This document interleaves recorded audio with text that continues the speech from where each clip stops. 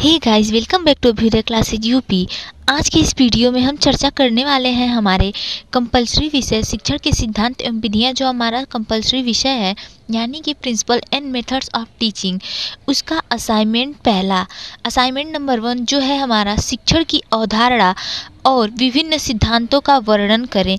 इस पर आज हम चर्चा करने वाले हैं। अगर आप चैनल पर नए हैं तो please subscribe Abhyuday classes UP तो चलिए देखते हैं अपना असाइनमेंट फ़र्स्ट अगली वीडियो में हम असाइनमेंट सेकेंड के बारे में चर्चा करेंगे। ओके पिछले वीडियोज़ में हमने हमारे शिक्षण विषय जो हमारा होता है, जैसे नागरिक शास्त्र, पदार्थ विज्ञान तथा जैविक विज्ञान शिक्षण के असाइनमेंट पर हमने चर्चा कर लिया है। दो दो असाइनमेंट तीनों विषयों में हमने पिछले वीडियोज़ में चर्चा कर लिया। आपको, अगर आपको उसमें से किसी भी सब्जेक्ट के असाइनमेंट की आवश्यकता पड़ती है अपने शिक्षण विषय से संबंधित, आप इनमें से किसी भी शिक्षण विषय से हैं, आपको इसके असाइनमेंट की आवश्यकता है तो आप एक बार चैनल पर चेक कर सकते हैं। इसकी प्लेलिस्ट भी हमने तैयार कर दी है। आपको playlist B third semester assignment करके मिल जाएगी, ठीक है?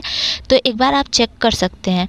इस वीडियो में हम चर्चा करने वाले हमारे कंपलसरी सब्जेक्ट शिक्षण के सिद्धांत एवं विधियाँ। इसका पहला असाइनमेंट है। दूसरा असाइनमेंट हम नेक्स्ट वीडियो में चर्चा करेंगे। पहले इस पर देखते हैं कि इसमें क्या लिखना है हमें। शिक्षण की अवधारणा और विभिन्न सिद्धांतों का वर्णन करें। ओके सबसे पहले हम लिखते हैं इसमें प्रस्तावना। हेडिंग लिखेंगे इंट्रोडक्शन या प्रस्तावना। इसमें देखते हैं, शिक्षण कदापि उतना ही पुरातन है जितनी की मानव जाति। इसमें कोई संदेह नहीं कि शिक्षण का केंद्र बिंदु सीखने में सुविधा लाना है। जहाँ शिक्षण होगा, वहाँ सीखना भी होना चाहिए। ओके? शिक्षण द्वारा विद्यार्थियों में परिवर्तन लाया जाता है। वह समाज में जो वांछित परिवर्तन समझे जाते हैं, उनको विचारपूर्वक विद्यार्थियों में लाने की चेष्टा करता है, क्योंकि इन परिवर्तनों को ही सीखना कहते हैं। शिक्षा का संबंध सीखने के मनोविज्ञान से गहरे रूप से समझा जाता है। इस कारण ही अनेक विद्वान मानते हैं कि सीखने के सिद्धांत ही शिक्षण के सिद्धांत की आधारशिला होनी चाहिए। शिक्षण एक जटिल प्रक्रिया है, ये हम सभी को पता है। शिक्षण एक जटिल प्रक्रिया है, शिक्षण एक सामाजिक भी प्रक्रिया है तथा यह इसे हम त्रिध्रुवी प्रक्रिया भी कहते हैं। ये किसने कहा है? रायबर ने कहा है शिक्षण को त्रिध्रुवी प्रक्रिया। ओके? जिसमें एक शिक्षक होता है, एक शिक्षार्थी होता है तथा पाठ्यक्रम होता है और इन तीनों के मध्य अंतक्रिया, पाठ्यक्रम के द्वारा शिक्षक और शिक्षार्थी के मध्य अंतक्रिया होता है। आगे देखते हैं। इसका मूल उद्देश्य बालक के व्यवहार में बदलाव लाना है। सभी को पता है, शिक्षण का जो मूल उद्देश्य होता है, वह बालक के व्यवहार में वांछित परिवर्तन, यानी कि व्यवहार में बदलाव लाना, एक अच्छा परिवर्तन लाना है। ठीक है? इसके लिए समय समय पर अनेक शिक्षण विधियों, प्रविधियों का निर्माण शिक्षा मनोवैज्ञानिकों द्वारा किया जाता है। इसी क्रम में शिक्षा तथा शिक्षण की अवधारणा में अधिगम भी जुड़ गया है। अधिगम मतलब कि सीखना। संपूर्ण शिक्षा प्रणाली का केंद्र बिंदु अधिगम है। अतः एक शिक्षक से यह उम्मीद की जाती है कि वह शिक्षण को प्रभावशाली बनाने के लिए शिक्षण के सामान्य तथा मनोवैज्ञानिक सिद्धांत तथा शिक्षा के सूत्रों की आवश्यकता अनुसार प्रयोग करे। ठीक है? ओके? इतना क्लियर है? समझ में आया? प्रस्तावना कैसे लिखते हैं? ये हमारा इंट्रोडक्शन है पूरा। ऐसे हम प्रस्तावना, यानी कि इंट्रोडक्शन सबसे पहले लिखते हैं। अब आगे देखते हैं हम शिक्षण किया का अर्थ एवं उसकी परिभाषा क्या है। इस पर चर्चा करते हैं। उसके बाद हम इसकी विशेषताएँ देखेंगे। फिर हम इसके जो सिद्धांत है, जो कि दो प्रकार के होते हैं, सामान्य सिद्धांत और मनोवैज्ञानिक सिद्धांत, उस पर चर्चा करेंगे। सबसे पहले देखेंगे इसके अर्थ और परिभाषा। तो हेडिंग लिखेंगे शिक्षण का अर्थ एवं परिभाषा। इसमें देखते हैं, शिक्षण का अर्थ है सीखना, ठीक है? शिक्षण एक सामाजिक प्रक्रिया है, जैसा कि अभी हमने ऊपर समझा था, तथा शिक्षण शब्द अंग्रेज़ी भाषा के टीचिंग का हिंदी रूपांतरण है। ये हम सभी को पता है टीचिंग को हिंदी में हम शिक्षण कहते हैं, और शिक्षण को अंग्रेज़ी में हम टीचिंग कहते हैं, ठीक है? किसी विषय वस्तु को माध्यम बनाकर शिक्षक एवं शिक्षार्थी के बीच विचारों के आदान प्रदान या परस्पर अंतक्रिया, यानी कि इंट्रैक्शन को शिक्षण कहते हैं। विचारों के परस्पर आदान प्रदान यानी कि या इंट्रैक्शन को हम शिक्षण कहते हैं। अधिगम की अपेक्षा शिक्षण का प्रत्यय जटिल होता है, क्योंकि सामाजिक दर्शन, सामाजिक मान्यताएँ, शासन का स्वरूप आदि शिक्षण के स्वरूप को प्रभावित करते हैं। वस्तुतः शिक्षण का सामान्य अर्थ सीखना या सीख देना होता है। वर्तमान में शिक्षण को त्रिध्रुवीय, जैसा कि अभी हमने ऊपर समझा था, त्रिध्रुवीय के संरचना के रूप में स्वीकार किया गया है। अभी हमने ऊपर आपको बताया था, ये एक त्रिध्रुवीय प्रक्रिया या संरचना है, जिसमें एक शिक्षक होता है, शिक्षार्थी होता है तथा पाठ्यक्रम होता है। पाठ्यक्रम के कारण शिक्षक और शिक्षार्थी के मध्य अंत क्रिया होता है, ठीक है? पाठ्यक्रम होता है, इसके वजह से अंतक्रिया होता है पाठ्यक्रम को लेकर शिक्षक और शिक्षार्थी के मध्य। इसीलिए ये एक त्रिध्रुवी प्रक्रिया है, ठीक है? इसको हम ध्यान में रखेंगे और ये किसने कहा है, वो भी हम ध्यान में रखेंगे। ये किसने कहा है? ये रायबर्न ने कहा है। तो इसे हम नहीं भूलेंगे। यहाँ पर आप एक बार कहीं पे नोट कर लीजिएगा, ये रायबर्न ने कहा है, क्योंकि ये ऑब्जेक्टिव टाइप क्वेश्चन में पूछता है या पूछ सकता है। अतः स्पष्ट है कि शिक्षण प्रक्रिया मानव यानी कि शिक्षार्थी व्यवहार को परिवर्तित करने की तकनीकी है। शिक्षण का एक प्रमुख हिस्सा शिक्षण विधियाँ हैं, जो शिक्षण को प्रभावशाली बनाती हैं। ठीक है? आगे देखते हैं। विभिन्न दर्शनों, संस्कृतियों तथा देश के सामाजिक स्वरूप के आधार पर शिक्षण के अर्थ को तीन भागों में वर्गीकृत किया गया है। कौन कौन से वो तीन भाग हैं, इस पर अभी हम आगे चर्चा करेंगे। सबसे पहले जान लेते हैं कौन कौन से होते हैं? एक एक तंत्र में शिक्षण का और दूसरा, लोकतंत्र में, तथा तीसरा, हस्तक्षेप रहित शिक्षण का अर्थ होता है। ठीक है? अब इन तीनों को एक एक करके हम समझेंगे। सबसे पहले हेडिंग लिखते हैं, एक तंत्र में शिक्षण का अर्थ। इसमें देखते हैं, एक तंत्र शासन में तानाशाही की इच्छा प्रमुख होती है। इस प्रकार के वातावरण में शिक्षण प्रक्रिया शिक्षक प्रधान मानी जाती है। शिक्षक कक्षा में आदर्श माना जाता है। वह छात्रों पर अपना रौब, दबाव रखता है और उन पर अपने आदेशों तथा विचारों को बलपूर्वक ठूसता रहता है। इस शिक्षण प्रक्रिया में छात्र शांतिपूर्वक शिक्षक को सुनने के लिए बाध्य हैं। शिक्षक की प्रत्येक बात को बिना किसी तर्क के उन्हें स्वीकार करना होता है। शिक्षक सक्रिय रहते हैं और छात्र भयभीत श्रोता बने बैठे रहते हैं। यानी कि इसमें सिर्फ़ शिक्षक ही प्रमुख माना जाता है। शिक्षक को हेड, यानी कि प्रधान माना जाता है। और इसमें जो होता है, इस तंत्र में, एक तंत्र में, शिक्षण में छात्र सिर्फ़ एक श्रोता बने बैठे रहते हैं, सुनते रहते हैं शिक्षक को और शिक्षक बस शिक्षक सक्रिय रहता है। वो अपना पढ़ाकर जैसे चला जाता है और शिक्षार्थी बस सुने रहते हैं, उसमें न तर्क करते हैं, न कुछ करते हैं। ठीक है? तो ये हो गया हमारा एक तंत्र शासन में या एक तंत्र में शिक्षण का अर्थ। इसमें क्या होता है? तानाशाही की इच्छा प्रमुख होती है। यानी कि बस शिक्षक ही सब कुछ है। और छात्र का कोई यहाँ पर कुछ नहीं है। छात्र ऐसे हमारी इस समय की जो शिक्षा है, वो बाल केंद्रित है। लेकिन एक तंत्र में, जब एक तंत्र में शिक्षण का अर्थ लिया जाता है, या पहले था जब कभी, ये जहाँ पर, वहाँ पर सिर्फ़ शिक्षक ही प्रमुख माना जाता था, छात्र का कोई वजूद नहीं माना जाता था। ठीक है? तो इसीलिए अब हम लोकतंत्र के में शिक्षण का अर्थ देखते हैं। इसमें शिक्षक और छात्र दोनों प्रमुख होते हैं। तो इसको देखते हैं, हेडिंग लिखेंगे लोकतंत्र में शिक्षण का अर्थ। इसमें आगे देखते हैं, लोकतंत्र में शासन प्रणाली मानवीय संबंधों पर आधारित रहती है तथा सामान्य जनता की इच्छा सर्वोत्तम मानी जाती है। इस प्रकार की प्रणाली में शिक्षण भी लोकतंत्रीय आधार लिए रहता है। यहाँ पर शिक्षक और छात्र दोनों सक्रिय रहते हैं, ठीक है? और उनके मध्य शाब्दिक और अशाब्दिक अंतक्रिया चलती रहती है। कक्षा में शिक्षक के साथ छात्रों को तर्क करने, प्रश्न करने, उत्तर पाने तथा अन्य प्रकार की वार्तालाप करने के अनेक अवसर रहते हैं। यहाँ पर छात्र एवं शिक्षक दोनों ही एक दूसरे के व्यक्तित्व को प्रभावित करते हैं। ठीक है? अर्थात कि लोकतंत्र में शिक्षण जो होता है, उसमें तानाशाही की इच्छा प्रमुख नहीं होती है। इसमें शिक्षक और छात्र दोनों को प्रमुख माना जाता है और दोनों सक्रिय रहते हैं। एक के बिना एक का नहीं हो सकता है काम। यानी कि एक के बिना, जैसे कहते हैं हम, एक के बिना एक अधूरा है। तो लोकतंत्र में शिक्षण का यही अर्थ है कि एक के बिना दूसरा कार्य नहीं हो सकता। दोनों के मध्य आपस में अंतक्रिया होता है। शाब्दिक, अशाब्दिक अंतक्रिया चलती रहती है, ठीक है? तर्क, प्रश्न, उत्तर, ये सभी चलते रहते हैं, ठीक है? ये हमारा लोकतंत्र में शिक्षण हो गया। अब हम देखते हैं हमारा तीसरा, हस्तक्षेप रहित शासन में शिक्षण का अर्थ। इसमें देखते हैं क्या होगा? इस प्रकार के शिक्षण में शिक्षक एक मित्र के रूप में कार्य करता है और छात्रों को अधिक सक्रिय बनाए हुए, उन्हें अधिक अवसर, विभिन्न समस्याओं को सुलझाने के लिए प्रदान करता है। इस प्रकार वह छात्रों की क्रियाओं में हस्तक्षेप न करके उनकी सृजनात्मक क्षमताओं के विकास की ओर अपना ध्यान केंद्रित करता है। यह, जैसा कि नाम से स्पष्ट है, यह हस्तक्षेप रहित होता है, ठीक है? अब कुछ परिभाषाएँ देख लेते हैं जो कि मोस्ट मोस्ट मोस्ट इंपॉर्टेंट हमारी परिभाषाएँ होती हैं, जो कि एग्ज़ाम में हमेशा पूछी जाती हैं। परिभाषाएँ तो बहुत ज़्यादा इंपॉर्टेंट होती है। ये ऑब्जेक्टिव टाइप जैसा अब इस समय ऑब्जेक्टिव टाइप क्वेश्चन चल रहा है हमारा। ऑब्जेक्टिव टाइप क्वेश्चन पूछते हैं, उसमें सबसे अधिक परिभाषाएँ पूछी जाती हैं। कोटेशन पूछा जाता है। इसीलिए हम नाम और उनकी परिभाषाओं को याद रखना इंपॉर्टेंट हो जाता है। सबसे पहला इसमें देखते हैं शिक्षण का जो परिभाषा है, पहला स्कीनर के अनुसार। शिक्षण पुनर्बलन की आकस्मिकताओं का क्रम है। ये स्किनर ने कहा है। स्मिथ ने कहा है, शिक्षण उद्देश्य निर्देशित क्रिया है। ओके? तथा गेज के अनुसार देखते हैं, इन्होंने क्या कहा इन्होंने कहा है, शिक्षण एक प्रकार का पारस्परिक प्रभाव है, जिसका उद्देश्य दूसरे व्यक्ति के व्यवहारों में वांछित परिवर्तन लाना। ये गेज ने कहा है, तथा जेम्स एथाइन ने कहा है, समस्त शिक्षण का अर्थ सीखने में वृद्धि करना। ये गेज ने कहा है। एक बार परिभाषाओं का इनका स्क्रीनशॉट लेंगे, फिर हम आगे देखेंगे।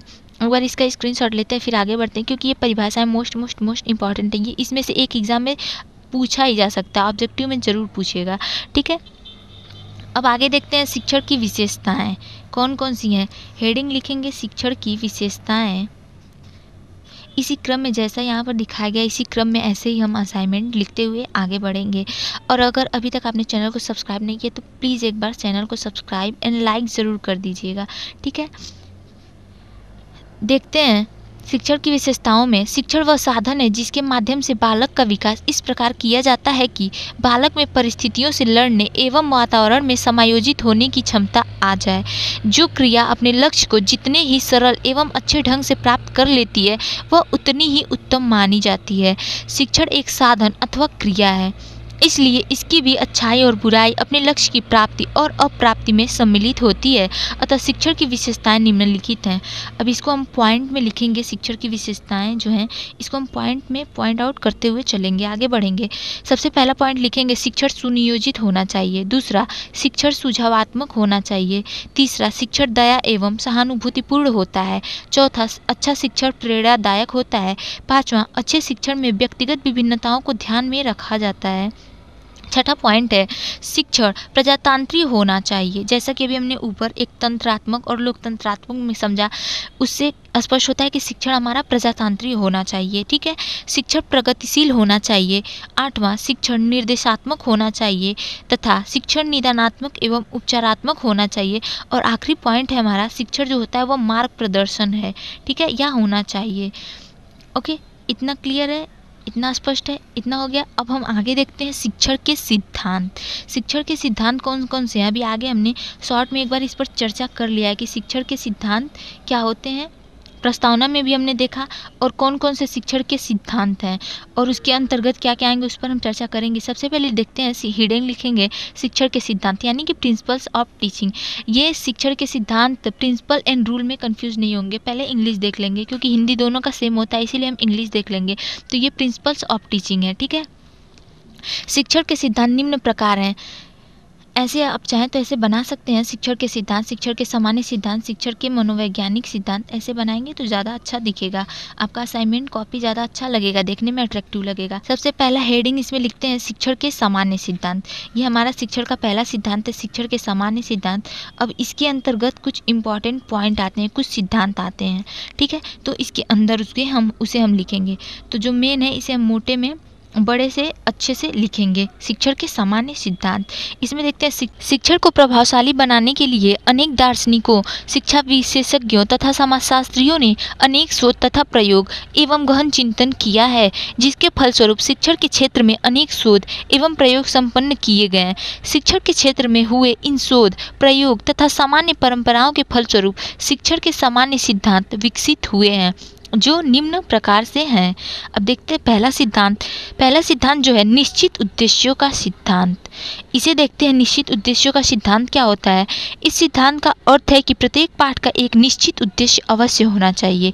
यह उद्देश्य स्पष्ट निश्चित तथा पूर्ण परिभाषित होना चाहिए। निश्चित उद्देश्य शिक्षक को प्रभावशाली ढंग से पाठ पढ़ाने में और छात्रों को सफलतापूर्वक पढ़ने में मदद करता है। बिना स्पष्ट उद्देश्यों के पढ़ाना शिक्षण नहीं होता, ठीक है? यानी कि हमारा किसी भी टॉपिक का या किसी भी एक लेसन का जो होता है उसमें एक निश्चित उद्देश्य होना चाहिए, ठीक है? अब दूसरा हमारा है नियोजन का सिद्धांत। इसको देखते हैं, नियोजन का सिद्धांत क्या होता है? हेडिंग लिखेंगे, नियोजन का सिद्धांत। इसमें लिखते हैं, शिक्षण से पूर्व जो कुछ शिक्षक को पढ़ाना है, उसकी विस्तृत योजना बनानी चाहिए। नियोजन का सिद्धांत है यही, ठीक है? शिक्षण के वांछित उद्देश्यों की प्राप्ति बिना योजना अथवा नियोजन के संभव नहीं होता है। यानी कि जैसा हम लोग अगर इंटर्नशिप पे जाते हैं, हम लोग बीएड में या डीएलएड में भी इंटर्नशिप पे जाते हैं तो उसमें हम क्या करते हैं? योजना बनाते हैं लेसन प्लानिंग करते हैं ना। लेसन प्लान ही हमारा क्या है? शिक्षण के सिद्धांत के अंतर्गत ही आता है, नियोजन के सिद्धांत के अंतर्गत। ठीक है? अब हम देखते हैं बाल केंद्रिता का सिद्धांत। हेडिंग लिखेंगे बाल केंद्रिता का सिद्धांत। इसमें देखते हैं एक अच्छा शिक्षक सदैव अपने शिक्षण को, छात्रों की आवश्यकताओं, क्षमताओं, रुचियों, अभिरुचियों, आयु तथा मानसिक स्तर आदि के अनुसार व्यवस्थित करता है। अभी जैसा कि हमने ऊपर जस्ट समझा था कि हमारा जो वर्तमान शिक्षा प्रणाली है वह बाल केंद्रित है, ठीक है? तो बाल केंद्रिता का सिद्धांत का ज्ञान एक अच्छे शिक्षक को होना ज़रूरी है, क्योंकि उसे अपने बाल, अपने बच्चों की, छात्रों की आवश्यकताओं, क्षमताओं, रुचियों, अभिरुचियों, आयु, उनके मानसिक स्तर क्या है, अगर उनकी पता नहीं है, उसका ज्ञात नहीं है तो हमारा शिक्षण कार्य जो होगा वह सफल नहीं होगा, असफल हो जाएगा, ठीक है? तो इसीलिए बाल बाल केंद्रिता का सिद्धांत जो हमारे शिक्षण में होता है वो मोस्ट इंपॉर्टेंट होता है।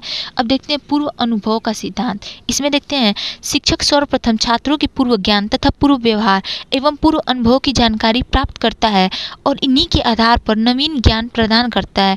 इससे शिक्षण प्रक्रिया काफ़ी सरल, सुगम तथा उपादेय हो जाती है। यानी कि सबसे पहले जब हम कक्षा शिक्षण करते हैं, यहाँ हम लोग शिक्षण करने जाते हैं तो हमें छात्रों का जो पूर्व ज्ञान है, उसे जान लेना आवश्यक है। पूर्व ज्ञान के आधार पर जब हम उसे पूर्व ज्ञान जान लेते हैं, उसके आधार पर हम नवीन ज्ञान उन्हें सरलता से दे सकते हैं और उन्हें वो चीज़ समझ में भी आती है। इसीलिए पूर्व अनुभव का सिद्धांत इसमें शिक्षण के सिद्धांत में रखा गया है, जिसका हम सभी शिक्षकों को नॉलेज ज़रूरी है। ओके अब देखते हैं विभक्तिकरण का सिद्धांत। प्रभावशाली शिक्षण के लिए विषय वस्तु को छोटी छोटी विषय यूनिटों में विभक्त करना, ताकि उन्हें हर बिंदु स्पष्ट हो सके। यह हमारा विभक्तिकरण का सिद्धांत होता है। ठीक है? अब अगला पॉइंट हम देखते हैं।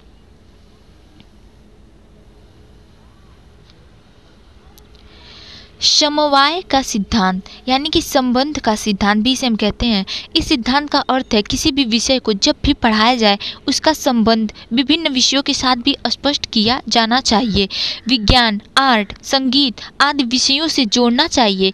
इसी प्रकार के प्रकरण विशेष का संबंध उस विषय के अन्य प्रकरणों से जोड़कर बताना चाहिए। यानी कि संबंधवाद का सिद्धांत, यानी कि समयवाद का सिद्धांत, इसलिए शिक्षण में ज़रूरी है इसलिए हमको ये बताया जाता है हमारे शिक्षण कार्य में, क्योंकि जब हम कोई भी सब्जेक्ट पढ़ाने जाते हैं, उसका एक दूसरे से, अगर हम एक दूसरे विषय से उसको कोरिलेट करके, उसका संबंध जोड़ के हम उसे पढ़ाएँ तो वो और अधिक सरल और सुगम हो जाता है। ठीक है? वो और अधिक इंटरेस्टिंग हो जाता है तथा छात्रों को भी रुचकर लगता है और उन्हें अन्य सब्जेक्ट जो होते हैं वो हार्ड नहीं लगते हैं, वो भी ईजी लगने लगते हैं। अगर दूसरे विषयों से हम इसे जोड़कर पढ़ाना शुरू करते हैं या पढ़ाते हैं तो। अब हम देखते हैं व्यक्तिगत विभिन्नता का सिद्धांत। इसमें देखते हैं क्या होता है, व्यक्तिगत विभिन्नता का सिद्धांत ये हमने सेकेंड सेमेस्टर में भी पढ़ा है अपनी समावेशी शिक्षा के अंतर्गत। इसको देखते हैं, प्रत्येक छात्र की बुद्धि, स्वभाव, योग्यताएँ, रुचि एवं क्षमताएँ एक समान नहीं होती हैं, उनमें विभिन्नता होती है हम सभी को पता है।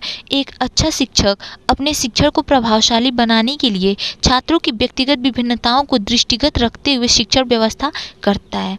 ठीक है? अब हमारा जो आखिरी पॉइंट है इसमें शिक्षण के सामान्य सिद्धांत में, वह है क्रियाओं का सिद्धांत। इसको देखते हैं। हेडिंग लिखेंगे, क्रियाओं का सिद्धांत। इसमें देखते हैं फ्रॉबेल के अनुसार। कार्य करके सीखना, यानी कि लर्निंग बाय डूइंग अधिगम की सर्वोत्तम विधि है। छात्र यदि अपने हाथों और हृदय के साथ मिलकर कार्य करते हैं, शिक्षक उन्हें यथोचित निर्देशन प्रदान करते हैं तो छात्र स्वयं कार्य करके प्रभावशाली विधि से जल्दी और अस्थायी ज्ञान प्राप्त करने में समर्थ हो जाते हैं। ठीक है? जैसे कि प्रोजेक्ट विधि, डॉल्टन विधि, खोज विधि आदि विधियाँ क्रियात्मक शिक्षण विधियाँ हैं, जिनमें छात्र स्वयं कार्य करके सीखते हैं। ये क्रियाओं का सिद्धांत है जिसमें छात्रों को, फ्रॉबेल ने कहा है छात्रों को स्वयं करके सीखना चाहिए। लर्निंग बाय डूइंग होनी चाहिए। जिससे छात्र स्वयं करके सीखेंगे तो वो ज्ञान अधिक समय तक दीर्घकालिक होगा और अस्थायी हो जाता है। ओके? अब हम देखते हैं शिक्षण की मनोवैज्ञानिक विधि या मनोवैज्ञानिक सिद्धांत। हेडिंग लिखेंगे शिक्षण के मनोवैज्ञानिक सिद्धांत या विधि। इसमें देखते हैं, शिक्षा आजकल बाल केंद्रित शिक्षा का स्वरूप ले चुकी है। जैसा कि अभी हम ऊपर बताते आ रहे हैं और आप समझते आ रहे हैं, ठीक है? बाल केंद्रित शिक्षा का संप्रत्यय मनोवैज्ञानिक, मनोविज्ञान की ही देन है, जिसका तात्पर्य है बालकों की योग्यताओं, क्षमताओं, रुचियों, मानसिक स्तरों तथा उनकी आयु आदि के आधार पर शिक्षा प्रदान करना। अभी हमने जस्ट ऊपर समझा था बाल केंद्रिता का सिद्धांत में, जो कि सामान्य सिद्धांत के अंतर्गत था, ठीक है? उनकी आयु आदि के आधार पर शिक्षा प्रदान करना, बालकों के मनोवैज्ञान मनोविज्ञान को ध्यान में रखते हुए मनोवैज्ञानिकों ने प्रभावशाली शिक्षण हेतु अनेकों सिद्धांत का निर्माण किया है, जो कि निम्नलिखित हैं। देखते हैं कौन कौन से सबसे पहला जो है वह अभिरुचि, यानी कि अभिप्रेरणा एवं अभिरुचि का सिद्धांत है। इसे रुचि या अभिरुचि भी आप कह सकते हैं। अभिप्रेरणा एवं रुचि का सिद्धांत। ये हमने अपने B Ed second semester first semester में ही पढ़ रखा। ऑलरेडी कि अभिप्रेरणा क्या होता है? रुचि क्या होता है या अभिरुचि क्या होता है? ठीक है? और बाल केंद्रित शिक्षा क्या होती है? ये सभी हमने अपने पिछले सेमेस्टर में पढ़ लिया है। ठीक है? देखते हैं इसमें अभिप्रेरणा तथा रुचि शिक्षण प्रक्रिया में महत्वपूर्ण भूमिका निभाती है। इस सिद्धांत के अनुसार शिक्षक और छात्र दोनों ही अभिप्रेरित होकर रुचिपूर्वक कार्य करते हैं। फलस्वरूप अधिगम प्रक्रिया अधिक सजीव तथा प्रभावशाली होती है। ठीक है? ये है हमारा अभिरुचि या अभिप्रेरणा एवं अभिप्रेरणा का सिद्धांत। अब देखते हैं अभ्यास एवं आवृत्ति का सिद्धांत। अभ्यास एवं आवृत्ति का सिद्धांत हमने ठंडाई के सिद्धांत के अंतर्गत फ़र्स्ट सेमेस्टर में पढ़ रखा है, ठीक है? तो ये सारे हमारे मनोवैज्ञानिक सिद्धांत हैं, जिनके आधार पर बालकों की आज की जो बाल केंद्रित शिक्षा प्रणाली है, उस, उसको शिक्षा, बालकों की शिक्षा दी जाती है, इन्हीं सारे सिद्धांतों के अंतर्गत। इसमें देखते हैं यह सर्वविदित तथ्य है कि यदि अर्जित ज्ञान का अभ्यास एवं पुनरावृत्ति की जाए तो छात्र सरलता से स्मरण रख सकते हैं। अतः शिक्षण प्रक्रिया में पुनरावृत्ति तथा अभ्यास को अवश्य स्थान दिया जाना चाहिए। ठीक है? तत्परता का सिद्धांत देखते हैं। हेडिंग लिखेंगे तत्परता का सिद्धांत। इसमें लिखते हैं, छात्रों को जो कुछ भी पढ़ाया जाए, उसके लिए उनमें मानसिक तत्परता अवश्य होनी चाहिए। मानसिक तत्परता के अभाव में छात्र भली भांति सीखने में रुचि नहीं लेते पढ़ाते समय छात्रों की मानसिक परिपक्वता का अवश्य ध्यान रखा जाना चाहिए। यह था हमारा तत्परता का सिद्धांत। अब हम आगे देखते हैं परिवर्तन, विश्राम तथा मनोरंजन का सिद्धांत। ये हमारा काफ़ी इंपॉर्टेंट पॉइंट है। इसको देखते हैं। बोरियत होने पर शिक्षण, कार्य पीछे छूटने लगता है या पिछड़ने लगता है। अतः शिक्षण में उद्दीपन, परिवर्तन विषय वस्तु में बदलाव, शिक्षण विधियों में विभिन्नता का प्रावधान होना चाहिए। साथ ही शिक्षण अधिगम प्रक्रिया में आवश्यकतानुसार विश्राम तथा मनोरंजन की भी व्यवस्था होनी चाहिए, जिससे कि छात्रों के मस्तिष्क को विश्राम मिल सके। और फिर वे अधिक ताज़ा होकर आगे के अधिगम के लिए तैयार हो सकें। ये हमारी जो पॉइंट है, ये काफ़ी इंपॉर्टेंट हो जाती है। परिवर्तन, विश्राम तथा मनोरंजन का सिद्धांत। इसे शिक्षकों को जानना इसलिए ज़रूरी है क्योंकि अगर शिक्षक इस सिद्धांत को, इस सिद्धांत से रूबरू नहीं रहेंगे, इसे नहीं जाने रहेंगे तो हमारा जो शिक्षण कार्य होता है, वह रुचकर नहीं होगा। वो बहुत बोरियत हो जाएगा, ठीक है? तो इसे जानना इसलिए ज़रूरी है क्योंकि इसके अंतर्गत हम छात्रों को समय समय पर जो शिक्षण हमारे जैसे टीएलएम का प्रयोग करके अपने शिक्षण को, शिक्षण कार्य को और अधिक रुचिकर बनाते हैं। कुछ मनोरंजन एग्ज़ाम्पल देकर, जैसे कहानी, कविता सुनाकर हम अपने शिक्षण कार्य को सहज और सुलभ बना सकते हैं। ठीक है? कुछ विश्राम देकर उनको, ये नहीं कि लगातार हम दो चार पीरियड लगातार पढ़ाते ही रह जाएँ तो विश्राम का सिद्धांत भी इसमें ज़रूरी है। ठीक है? अब देखते हैं प्रतिपुष्टि या पुनर्बलन इसे हम कहते हैं का सिद्धांत। फीडबैक प्रतिपुष्टि को इंग्लिश में फीडबैक भी कहते हैं। छात्रों को पुनर्बलन देकर शिक्षण को प्रभावशाली बनाया जा सकता है। उन्हें उनके अच्छे व्यवहार के लिए पुरस्कृत किया जाना चाहिए। उनके द्वारा किए गए कार्यों की प्रगति के विषय में सूचनाएँ दी जानी चाहिए। छात्र ऐसी स्थिति में कार्य जल्दी समझते हैं और दोहराते हैं। उनमें शिक्षक अच्छी आदतों का विकास कर सकता है। इस प्रकार प्रतिपुष्टि एवं पुनर्बलन का प्रयोग करके शिक्षण अधिगम प्रक्रिया को प्रभावशाली बनाया जा सकता है। यानी कि ये सिद्धांत इसलिए इंपॉर्टेंट है, प्रतिपुष्टि या पुनर्बलन का सिद्धांत।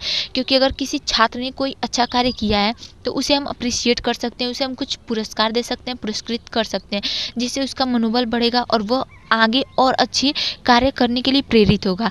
अगर वो कोई अच्छा कार्य करता है, हम उसे कोई पुनर्बलन नहीं देते हैं, या कोई प्रतिपुष्टि, कोई पुरस्कार सम्मान कुछ भी नहीं देते हैं तो आगे क्यों करना चाहेगा? नहीं करना चाहेगा। हम ही, कुछ हमें पुनर्बलन, हम को खुद अगर कुछ पुनर्बलन मिलता है, कोई अप्रिशिएट काम हम करते हैं, कोई अप्रिशिएट कर देता है तो हमें वो अच्छा लगता है। तो हमें आगे उसको और करने के लिए प्रेरित होते हैं। और हमें नहीं मिलता है तो हम कहते हैं, अरे यार, छोड़ो, क्यों करें? जब इससे हमें कोई लाभ ही नहीं है, कुछ, कोई सराहना ही नहीं है तो हम उस काम में रुचि नहीं लेते हैं। वो काम हम खुद आगे नहीं करते हैं। तो इसीलिए बच्चों को समय समय पर प्रतिपुष्टि और पुनर्बलन देना ज़रूरी है। उनको आगे बढ़ाने के लिए और अपने शिक्षण प्रक्रिया या शिक्षण कार्य को रुचिकर बनाने हेतु, ठीक है? ज्ञानेन्द्रीय प्रशिक्षण का सिद्धांत। इसको देखते हैं। प्रभावशाली शिक्षण के लिए आवश्यक है कि ज्ञानेन्द्रियों को उचित प्रशिक्षण दिया जाए। अधिगम के विभिन्न पक्षों के लिए विभिन्न प्रकार की क्षमताएँ चाहिए, जो ज्ञानेन्द्रियों द्वारा ही प्राप्त हो सकती है। ज्ञानेन्द्रियों द्वारा शिक्षा शिक्षण या शिक्षा प्रभावशाली अधिगम की कुंजी है। अतः शिक्षक को चाहिए कि वह छात्रों को पढ़ाते समय ज्ञानेंद्रियों को आवश्यकतानुसार शिक्षण का आधार मानकर पढ़ाए। ठीक है? ये था हमारा ज्ञानेंद्रिय प्रशिक्षण का सिद्धांत। अब देखते हैं स्व अधिगम सिद्धांत।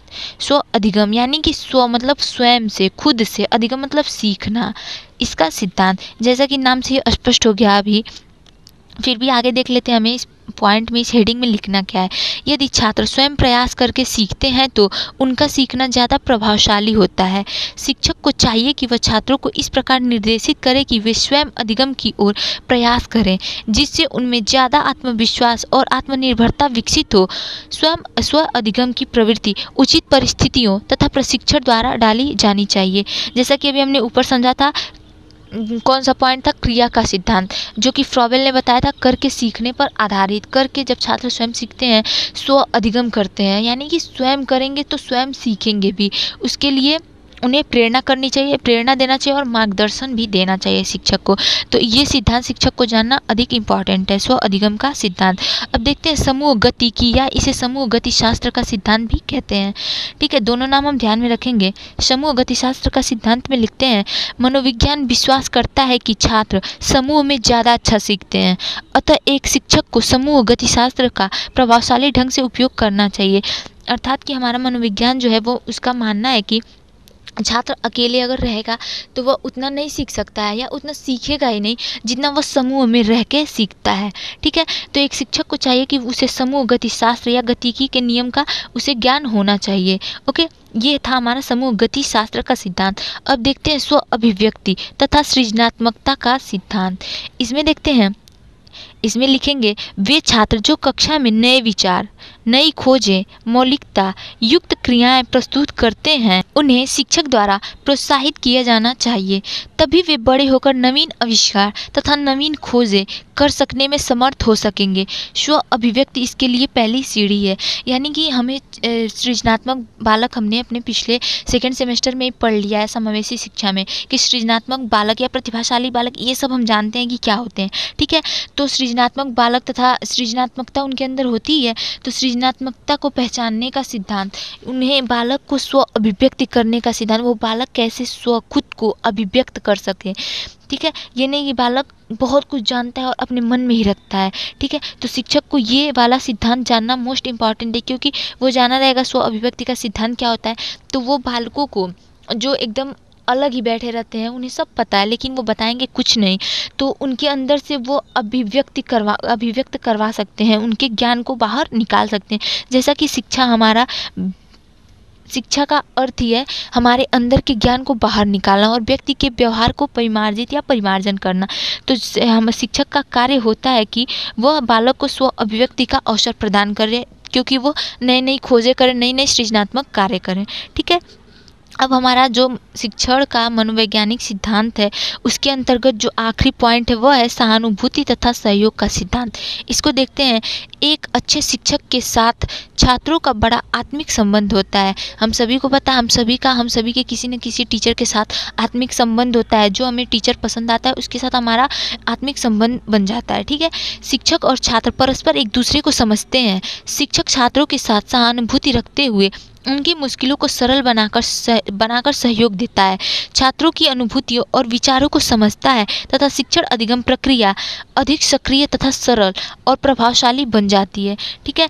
तो एक शिक्षक को इस सिद्धांत के बारे में जानकारी इसलिए होनी चाहिए क्योंकि उसे ये नहीं कि बहुत स्ट्रिक्टली बिहेव करना है छात्रों के साथ या उनका कोई भी सहयोग नहीं करना है। जैसे प्रोजेक्ट कार्य मिल गया असाइनमेंट तो उनको कुछ समझाना ही नहीं कि कैसे ये कार्य होगा कैसे बनेगा कुछ नहीं बताना है। ठीक है?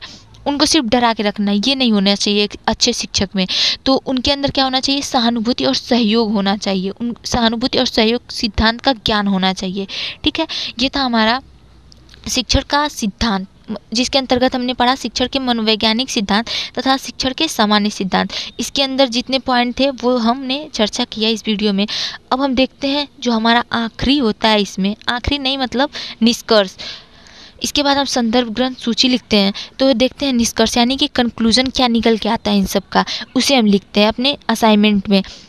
लास्ट में, ठीक है? शिक्षण प्रक्रियाओं की एक ऐसी व्यवस्था है, जिसमें एक व्यक्ति दूसरे को ज्ञान प्रदान करने के लिए, शिक्षण के कार्य को संपन्न करने के लिए अनेक प्रकार की क्रियाएँ करता है और छात्रों के व्यवहार में आत्मीयता के साथ वांछित परिवर्तन लाने का प्रयास करता है। शिक्षण को तभी सफल माना जाता है जब वो बालक को सीखने और स्वयं कुछ कार्य करने में सहायता देता है, ठीक है? ये सभी हमने ऑलरेडी पॉइंट ऊपर डिस्कस कर लिया है, लेकिन उन सारे ऊपर जो हमने डिस्कस किया, उसका क्या निष्कर्ष आता है, ये आखिरी में हम अपने असाइनमेंट या प्रोजेक्ट कार्य जो भी होता है, उसमें निष्कर्ष यानी कि कंक्लूजन क्या निकल के आता है, उसमें हम लिखते हैं। निष्कर्ष पॉइंट इसीलिए होता है लिखने के लिए, ठीक है? इस दृष्टिकोण से शिक्षक केवल एक साधन है। शिक्षण द्वारा उनका कार्य है। बालक को सिखाना, सीखने के लिए उसे प्रेरित करना और इस प्रकार की प्रगति में योग देना। ठीक है, ये शिक्षक का कार्य होता है। अब हम इसमें आगे देखते हैं हमारे असाइनमेंट में। जो लास्ट में लिखेंगे, वह लिखते हैं संदर्भ ग्रंथ सूची। संदर्भ ग्रंथ सूची में जैसे लिखते हैं पुस्तक का नाम और लेखक का नाम। यानी कि किस पुस्तक से हमने ये सारे असाइनमेंट का जो मैटर है, वो हमने इकट्ठा किया, एकत्रित किया और लिखा। ये होता है हमारा संदर्भ ग्रंथ सूची में, ये हम लिखते हैं, ठीक है? तो हम लिखेंगे, पुस्तक का नाम है शिक्षण के सिद्धांत एवं विधियाँ और लेखक का नाम आर के सिंह। भले ही आपने ये यूट्यूब से लिखा हो तो आप यूट्यूब और यूट्यूब का चैनल तो लिखेंगे नहीं, अभ्युदय क्लासेज यूपी से हमने लिखा संदर्भ ग्रंथ सूची में, ये तो लिखेंगे नहीं। तो इसीलिए हम इसमें लिखते हैं संदर्भ ग्रंथ सूची में पुस्तक का नाम और लेखक का नाम, जिसमें लिखेंगे पुस्तक का नाम है शिक्षण के सिद्धांत एवं विधियाँ और लेखक का नाम है आर के सिंह, ठीक है?